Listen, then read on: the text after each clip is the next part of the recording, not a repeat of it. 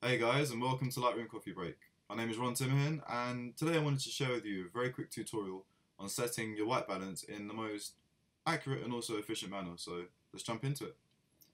As you guys know, in your basic panel, you've got your white balance sliders.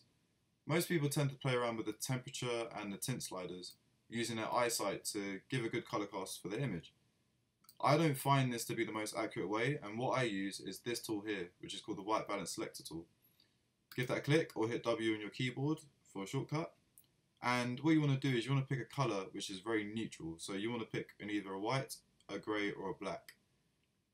If you hover over one of those colors that you found on your image, you'll notice that the numbers at the bottom of the box next to the color picker are very, very close to each other. The closer they are, the more accurate the reading.